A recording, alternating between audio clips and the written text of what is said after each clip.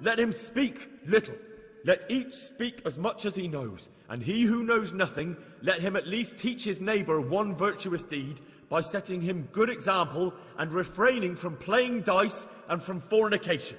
And that applies both to priests and to you, brothers and sisters. That's his conclusion? That is all I heard in Prague.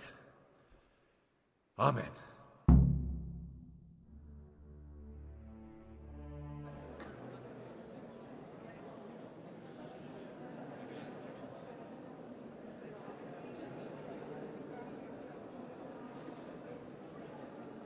The lad spoke well, considering what a soak he is.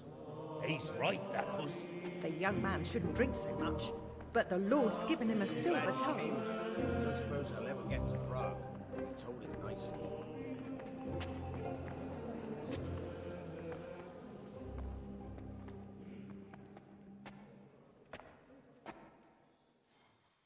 Well, well, my boy, you have talent, and I can't deny it. And you pulled a thorn from my side. I almost didn't make it. Yeah, I noticed. I wasn't the only one. Oh, what's to be done? I'll make it up somehow. So, about our bargain. Although it's a sin, Uh, so gluttony and fornication. God does forgive a penitent. So, what did Limpy Lubos tell you? Was he at Neuhof that day? Who was with him? And, and, and where are they now? Now, slow down. I'm sorry, but he didn't tell me that much. Don't let me down after all I've been through. For you, Well, now Lubos came to me shortly after it happened. His conscience was gnawing at him. And I must say, uh, in the end, he turned out to be a better man than he looked. He said they'd been hired through some crony of theirs. And at first, they were just to steal some horses. But then it all turned sour and people started getting killed. And neither he nor his cronies wanted anything to do with that. So they fell out from the gang and fled. fell out. Yeah, there was a body found in the woods by Neuhof. That would explain something. Uh, Lubos kept jabbering that he wasn't a murderer, that he didn't want to do it. So I know that Lubos killed the murderer and he's dead too. The trouble is, I need to find the ones who are still alive. I need names and places. Did he mention any of the others? Uh, only nicknames. Uh, talked about some fella called Reeky from Ledetchko, Pious, Timmy. Pious. that lot are about as pious as I am ordained. Nonsense. You would make an excellent priest. And anyhow, with your skills, you ought to be able to sniff out this Reeky from Ledetchko, right? Well, we'll have to now. There's not much else to go on. Let's hope he's not hanging from the wall too. Indeed. And I'd hate to be excommunicated for nothing.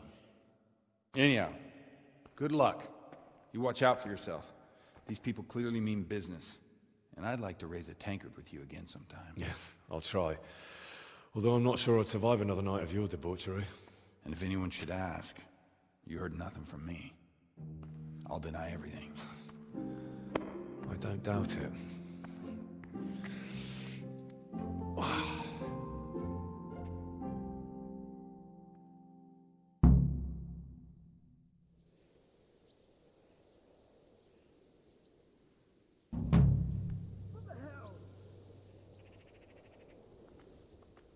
Jesus, look where you're going.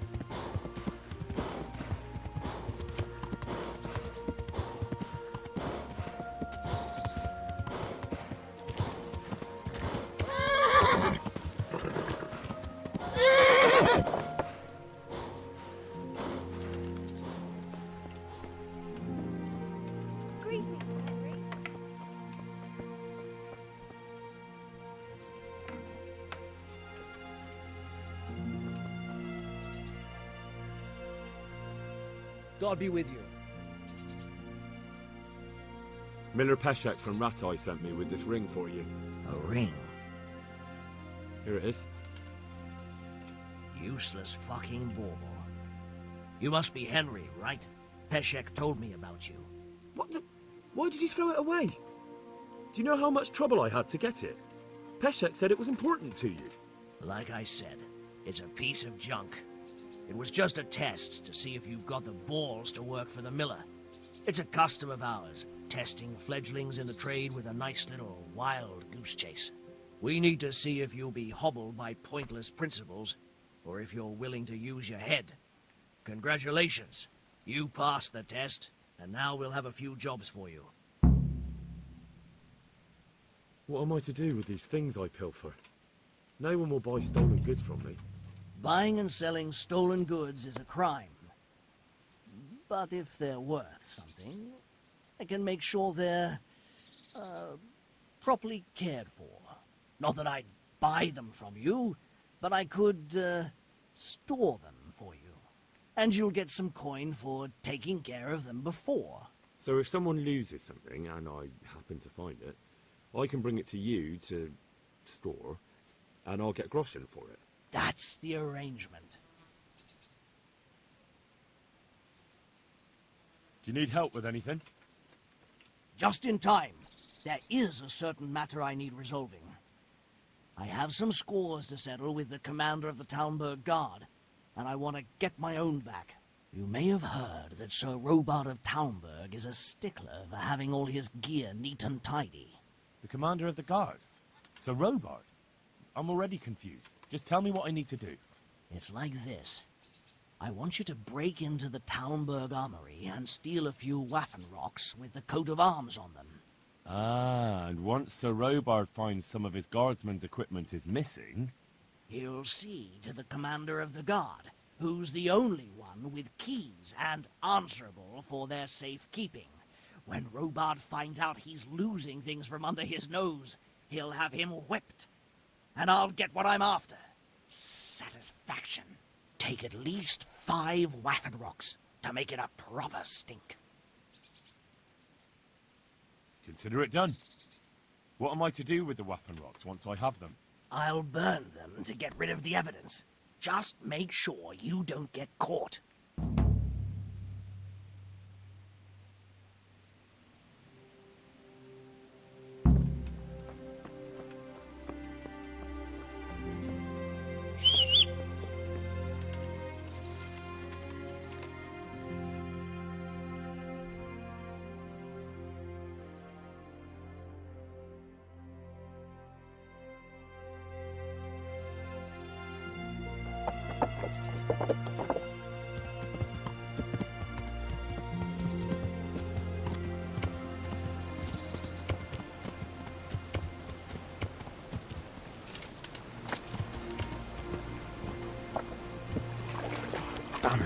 Was able to swim.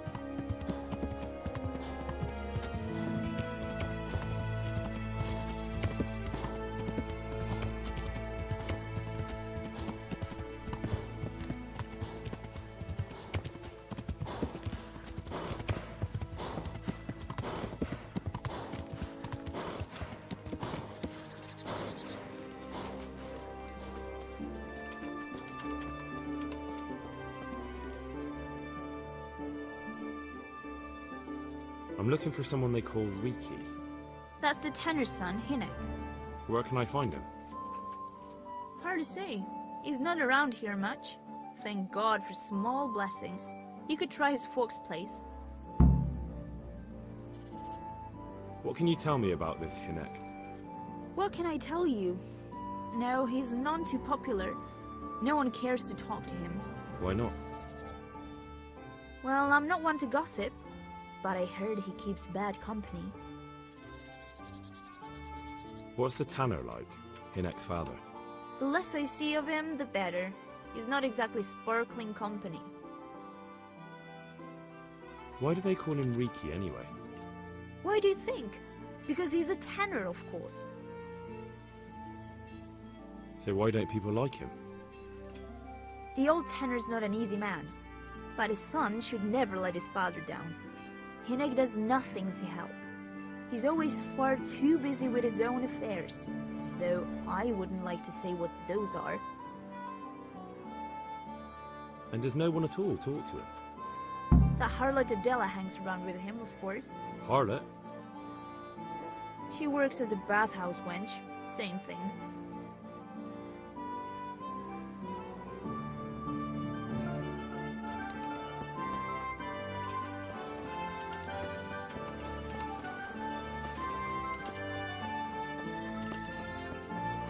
Was that noise? Jesus Christ be praised. I'm looking for a fellow called Reeky. Have you ever heard of him? Shit. Why wouldn't I? That's what they call my son, Hynek. Ah, you wouldn't happen to know where he is, would you? I don't know nothing. Don't you at least know where he usually goes? It's important. Hynek shows up at home once in a blue moon, so I don't know nothing about where he gets to. Even if I did, why would I tell every Tom, Dick, and Harry?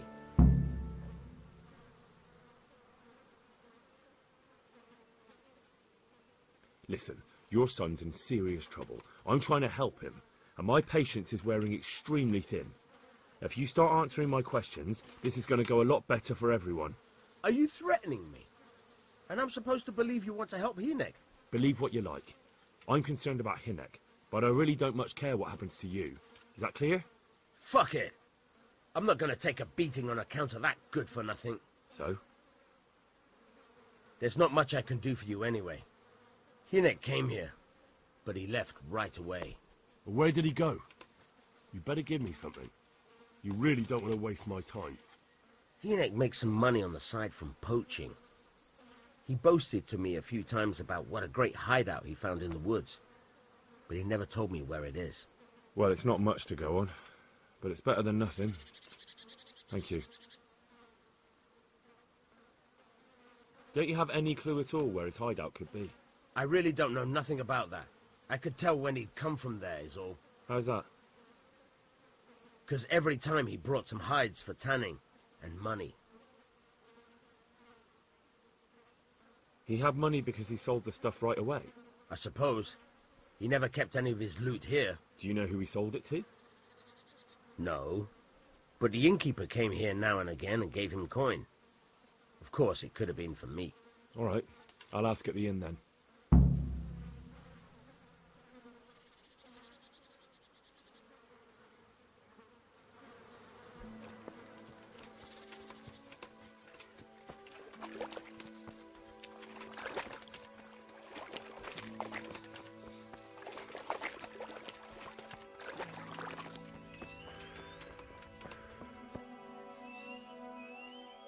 Good day to you. What do you need?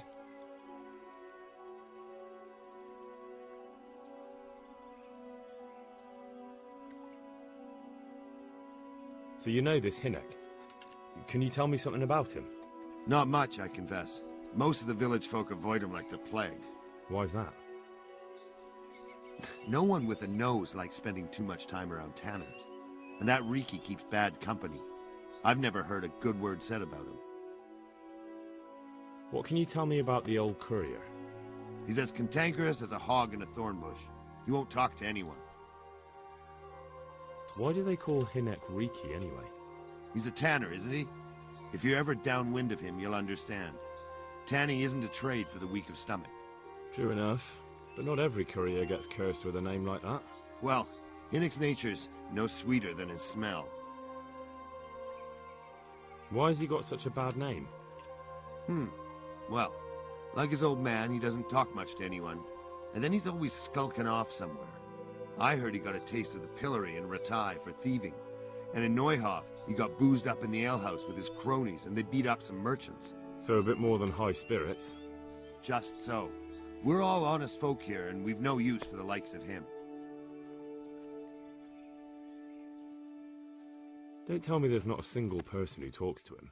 He's been seen around with one of the bathhouse wenches. Adela, I believe she's called.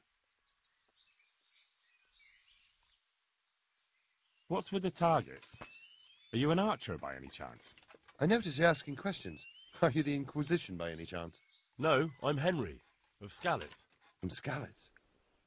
I'm Vatek, from here. Why are you so curious about the targets? It's just that I sometimes try my hand at archery too. Try your hand, do you? I know plenty who do. When you can score as high as me at chumps, then I might be impressed. I've got no idea what you're talking about. Never played chumps? And you call yourself an archer? All right, Henry, listen up. Chumps is a game for real archers. It tests your strength, stamina, and accuracy. And it can be a nice little earner. Unless you're, well, a chump. So what exactly is it? I'll tell you. A bunch of logs are floated down the river. Then you count to 20, and the archers run along the banks after the logs. At the end of the course, someone collects all the logs and counts the strikes. Whoever has the most, always meaning me, wins the bout. Each archer has 20 arrows with their own coloured fletching, and the contest ends when the last log floats through the finish line. Sounds like good fun. Fun? My friend, it will bring you out in a proper sweat, and you'll be well pleased to hit just one or two blocks. So how about it then? Fancy a bout? You'll need your own bow, but I'll supply the arrows with coloured fletching.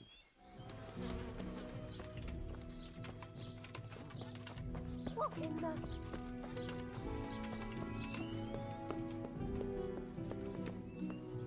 Look where you're going.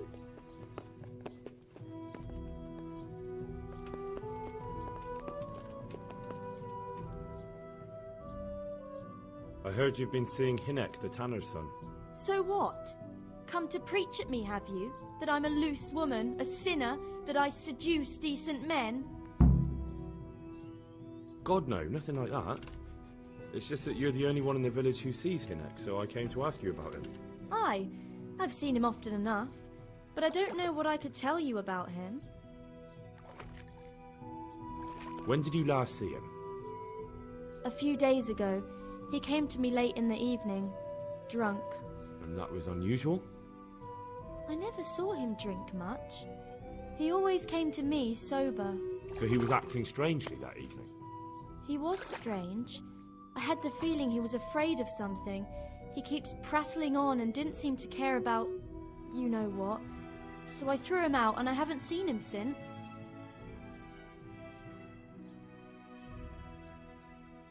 Can you remember anything he said that evening?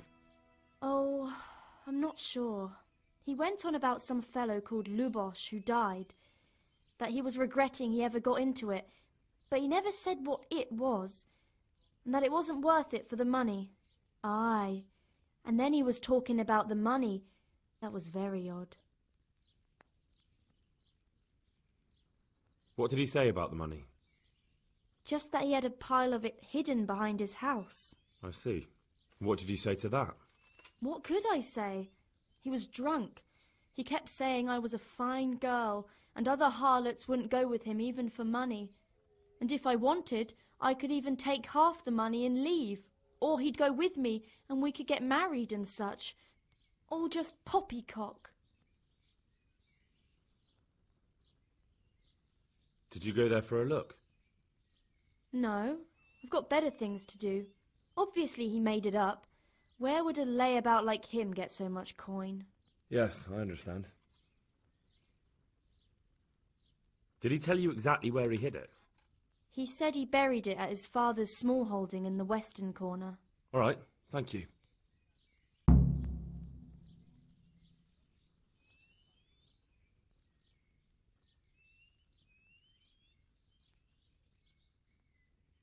Where can I find Hynek? Haven't seen him in the village for a few days. He must have run off to the woods again.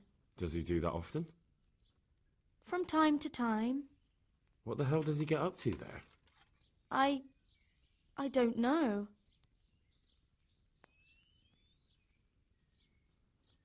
He goes to the woods from time to time. That smells fishy to me. What do you mean? There's no law against it, is there? With all the footpads, looters, cumans, and God knows what other vermin around, it's not the sort of thing an honest man would do. But Hynek doesn't have anything to do with those people. Oh, really? Then what does he do there? I don't imagine he's gathering mushrooms. I really don't know what you want from me. So Hynek is a bit odd, and sometimes he goes off into the woods. So what? I found out that Hynek goes poaching in the woods and he's got a hideout there. What do you know about it? Um. Don't worry. Hynek has much bigger problems than being caught poaching. And you're not involved in it anyway, are you? No, I'm not. It's true he used to go hunting in the woods sometimes. When he came back, he'd usually come to me. That's all.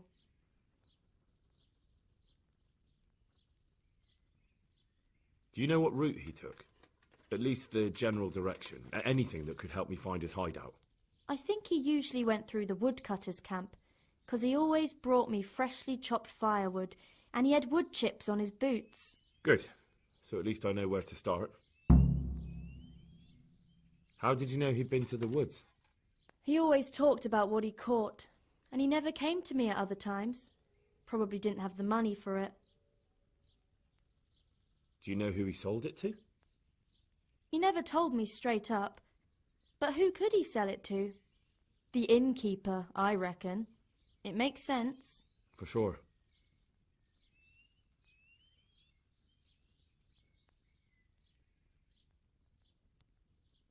Is it true? What? Other whores wouldn't go with him even for money. The other bathhouse girls are honest, so I don't know. The truth is, I felt a bit sorry for him. Folk don't like him, but it's only 'cause his old man is a grouch and a tanner.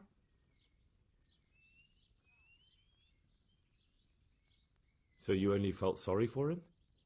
Both of us are the black sheep of the village. There's nothing more between you? No, nothing. Maybe Hynek thinks differently, but that's how it goes.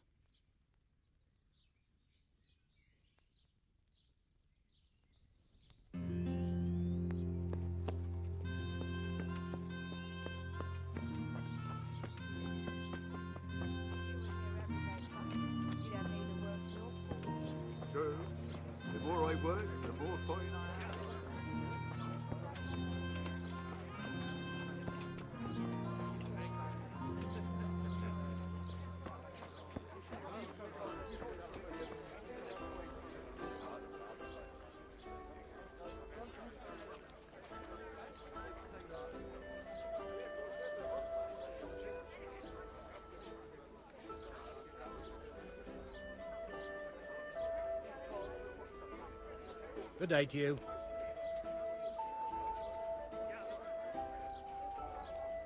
What's happening around here? Ah, you know how it is. Always something. Now I think of it. I've not seen Kunhuta here for some time. The local herb woman. She always comes here once a week for a tankard of ale. But she ain't turned up recently. Well, nothing's happened to her. And that's not all. Especially at the mill. Not a week goes by without some ruckus there. But I'm wise to them troublemakers. Whenever they're planning some mischief, they're always huddled there in the corner, hatching their plots. Like yesterday, for instance. I want to ask about the courier's son, Hynek. But ask someone else. They've nothing to do Here, with Reeky. enjoy He'd only drive my customers away. Really? I heard a different story. I heard the two of you do business together. Who are you, anyway? A friend of Hynek's. He's gone missing and I need to find him. I don't know where he is. But if you find the bastard, tell him he still owes me some goods.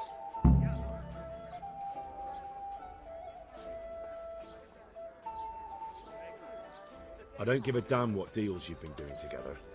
I won't tell anyone. I just need to know where Reeky is. It's urgent. What have our deals got to do with where he disappeared to? More than you think. It's likely Reeky is hiding out at his poaching there. And believe me, it wasn't hard to find out who was buying game from him, and it's even easier to go to the castle and tell them. Poaching's a crime, after all. All right, all right. But give me your word of honor you won't tell anyone about our deal. You have my word. Fine. So, what do you want to know? I hear Hynek has a hideout in the woods he uses for hunting game. Do you know where it is? Not exactly. That is... I don't know where it is at all. But? But I happen to know it's a dark place. A cave or an old mine shaft. How do you know that? Coming right up. Whenever Reeky was going poaching, he always came to me first for candles and lamp oil. He brought the game skinned and gutted, so we had to have a light for that. And do you know of any mine shafts nearby? There's a few of them around. There's one on the opposite bank, a short way off the path leading from the forge to the west. Then there's a mine gallery to the east of the village, uh, up in the woods above the cliffs. And I heard there's one shaft on the headland close to the water. Thank you. You're welcome. Watch you don't break your neck, though. It's rough ground, and you could easily fall down a here. shaft.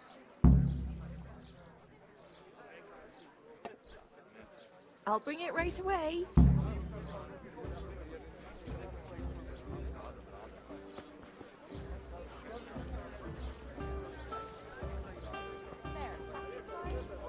One beer.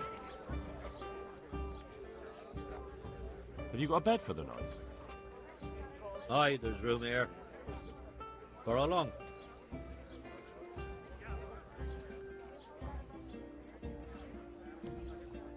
How about if I pay you for several nights? All right. Money up front, though.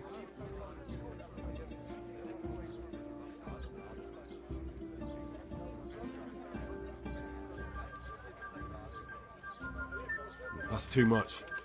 I'll have to think it over. Suit yourself.